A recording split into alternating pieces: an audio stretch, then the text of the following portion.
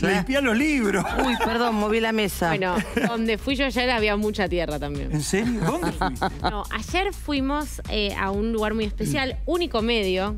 Esto es ex- en exclusiva, porque es una Vamos, obra que se estrena hoy en el marco del Festival. Internacional de Buenos Aires. Se va a hacer hoy, mañana y pasado. Nos fuimos a la calle Pichincha. Pichincha. Sí, a Parque Patricios. Ahí la ex cárcel de caseros, un lugar con una historia pesada, sí las hay, Oh. Claro que sí. Donde pudimos entrar. Y este es el patio, capaz le suena, ¿le suena de algo? ¿Le suena del marginal, por Suena del ejemplo? marginal, me suena también de la versión mexicana del, del marginal que también se Tumberos filmó acá. también se hizo. Es verdad, Tumberos Tumberos. también se hizo ahí, así que este patio ya lo conocen eh, audiovisualmente, pero pueden ir hoy, mañana o pasado a ir a conocerlo en persona, porque gracias al FIBA nos abren las puertas de la ex cárcel de caseros para ir a vivir una experiencia de una obra que se llama Palmasola. Palmasola es una ciudad prisión en Bolivia, cerca de Santa Cruz de la Sierra, tiene 6.000 reclusos, eh, una mm, prisión que como toda, y bueno, es un tema, el tema de las prisiones en América Latina, pero derechos humanos, muy polémica con un montón de casos. Y eh, lo que hicieron es una coproducción suiza y boliviana en donde Ajá. hacen una obra de teatro sobre la prisión. El tema es que la obra de teatro siempre se hizo o en teatros o en centros culturales. Claro. Pero es la primera vez que van a hacer una obra de teatro que habla sobre una prisión en una ex cárcel. Y- esto, y va a suceder hoy. Y esto es eh, claramente por, porque vieron, conocieron esta cárcel a, a través de las ficciones. Vieron el marginal y dijeron, che, en Buenos Aires, ¿nos dejarán usar ese lugar para Ese hacer la obra? claro. Contactaron a Tata, arreglaron y hoy estrena en el FIBA. Palma Sola. Hablamos con el director suizo. ¿Quieren escucharlo? Por favor. Estamos en la ex cárcel de caseros en la ciudad de Buenos Aires. ¿Es muy diferente a Palmasola o se puede hacer bien la, la obra acá? Bueno, lo más diferente es que es una ex cárcel y no es una cárcel. Y la cárcel, la vida de la cárcel viene de la gente que están ahí, ¿no?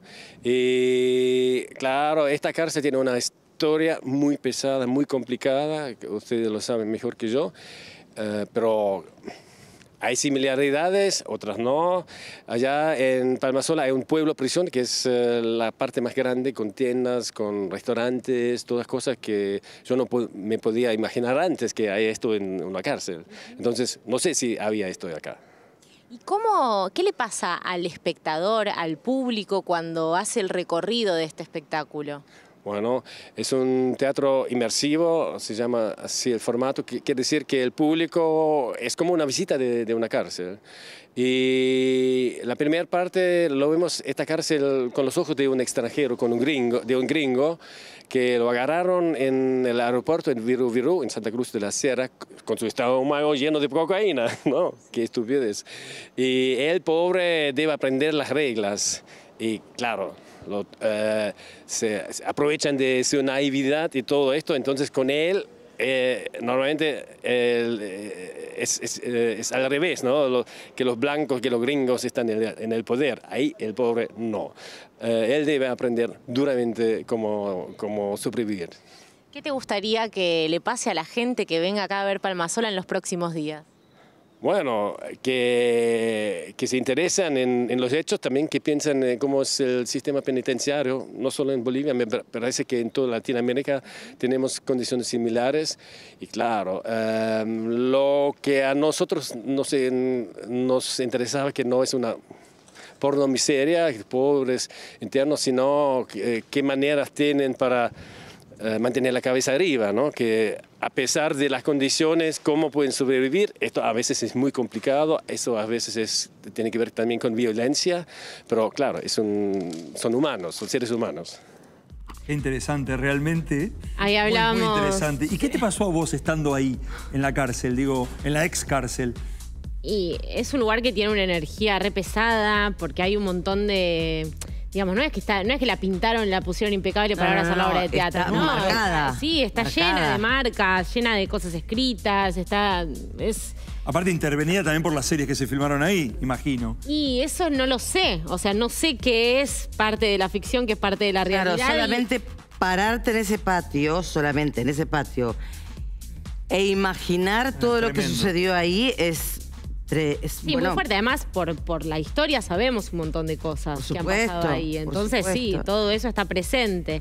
¿Y el público dónde la ve? Es así, el público entra por la calle Pichincha, Sí. tiene que atravesar todo un pasillo ancho y largo que está lleno de celdas a los costados y terminas en el patio donde sí se desarrolla la mayoría de la obra. Ah, y el O sea que público. no exclusivamente. No, no exclusivamente, porque es, co- es como es con recorrido. Ah, con un ok. poquito de recorrido. interesante. No mucho, pero con un poquito de recorrido. Si entran 120 personas nada más por función, son tres funciones, ese es el tema. Ah. Por eso, ya te, quedaste- ya te dije, te quedaste sin entrada. Bueno, después vemos qué podemos Es que hacer. muy complicado. Eh, además de hablar con Christoph Frick, que es el director, hablamos con Jonathan Torres, que es el, uno de los dramaturgos de esta obra. Palmasola es una coproducción entre Suiza y Bolivia, que ahora está invitada en el FIBA como parte de eh, la experiencia suiza, eso llamó la- el FIBA esto. Y bueno, es, es una propuesta, de, como dijo el director de teatro inmersivo, eh, donde tratamos de discutir varios temas y sobre todo mostrar eh, la realidad de una cárcel en específico, que es la de la ciudad de donde venimos, Santa Cruz de la Sierra, y bueno, dar un, un- una otra visión diferente a partir de las voces de los, internos, porque todo lo que se dice acá tiene base real. O sea, hemos trabajado mucho tiempo en investigación, hemos hablado con, desde internos, abogados, jueces, etcétera, etcétera. Entonces, pese que va, va a haber un, toque de, de- de arte como tal, todo lo que se dice son cosas reales que pasan o le han pasado a alguien, ¿no? ¿Cómo es que aparece esta alianza? ¿Cómo, cómo aparece la idea de, hacer Palmasola, de hacer esta obra? Sí, bueno, eh, Christoph Frick viajó a Bolivia a dar unos talleres de teatro con el Goethe Zentrum en Santa Cruz y surgió la curiosidad de hacer algo, un proyecto en conjunto con Bolivia y visitamos muchos lugares de Santa Cruz que no son típicos de esperar, ¿no? Entonces en todos esos lugares había una palabra que se repetía mucho, sobre todo en los lugares de, recursos más bajos, que era palmasola. Entonces nos dimos cuenta que no importa qué estrato social tengas, de alguna manera conoces a alguien o, conoces, tienes una relación con la cárcel. Entonces esa palabra que resonaba tanto nos hizo pensar en, bueno, hay que ir a ese lugar y hay que ver qué podemos contar, qué hay para decir de este lugar. ¿Qué te pasó cuando llegaste a este lugar? Sí, bueno, eh, cuando el FIBA nos, notificó que sí se podía hacer, eh, claro, estudiamos un poco de qué se trataba y la historia del lugar. Y sí, es un lugar con mucha historia, con muchas cosas que decir.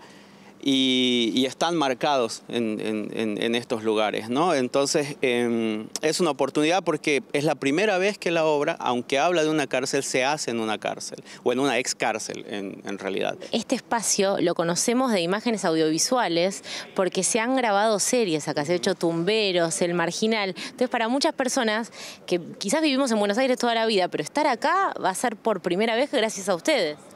Sí, bueno, gracias a FIBA que aceptó la locura, este, pero sí, bueno, es una experiencia para todos. Y supongo que acá en Buenos Aires, como en muchos lugares de Latinoamérica pasa esto, hablamos mucho de lo que pasa en las cárceles, sabemos lo que pasa en las cárceles, lo que sufre la gente, también lo que hace la gente, porque no todos son los angelitos. Entonces, eh, esas cosas de las que hablamos y a veces no las vemos, en la, en la obra tienen la oportunidad de, de de ser parte también, porque el público no se va a sentar de manera pasiva a ver algo que pasa. Va a participar, va a recorrer la obra, va a ser cómplice en algunos momentos y eso, y eso también es muy llamativo de la propuesta. Voy a citar a Federico Irazabal porque no me voy a hacer cargo si se van hasta allá y no pueden entrar. Pero recuerden que estuvo sentado acá el director del FIBA Sí. y dijo, si no tienen entrada, vayan media horita, 15 minutos antes, porque vos, tu reserva ti- tiene validez hasta 15 minutos antes. Claro. Entonces, Si alguien Si no fue, reserva- como son cae la gratuitas, reserva. como son gratuitas las entradas, hay mucha Claro. gente que reserva y después se olvida. Entonces, tírate el lance si te ¿Vos decís tienta que ir a vaya ver. hasta la ex cárcel te diría que sí. Eh, recordame Pero horario de después, las si, si no puedes entrar, eh, yo no, no fui la No, respuesta, no, si no puedo entrar, eh, no, no, me, das tu lugar. ¿Vos cuándo vas a ir? pero vos esperá. Yo voy a ir el domingo. Ah, el domingo voy a ir yo también. Ah, Quiero ir, va. ¿A qué hora es el domingo la función? Eh, creo que a las 19. ¿Cuántas reservaste vos? No, no, se puede reservar de a una, ¿no? Ah, Encima- cierto, de a una. Es poquito, todo poquito, ¿viste? De a una. Hay que, cada uno tiene que entrar, poner su DNI, eh, sus datos y. 18.30, ahí lo dice. el 18.30. Graf. 18:30. Gracias, señor director, por recordármelo. claro, Daniel, lee el graf. eh, No, no pregunté. ¿Cómo nos retó, Sí, eh? Nos retó. El, de- No, el, ¿El el- director es Ariel? Y lo que pasa que. No, Es no el Ariel. calor que nos No, no, confunde. hoy no es Ariel, es Hernán, pero como, yo- como, como Hernán, echó un con pero ¿qué te pasa, hijo? Por ahí le cayó medio pesado y nos da. No, no, No. señor director, por favor. No, Muchas no, gracias. no, señor no. director. Usted debería ver la obra. El miedo que me da es que lo dejen adentro. Ah, no, ya es una ex cárcel, no pasa nada. No, no dije nada, no dije Pero nada. todo puede suceder. Todo puede porque- suceder, no, porque es barra brava de Albois, imagínate.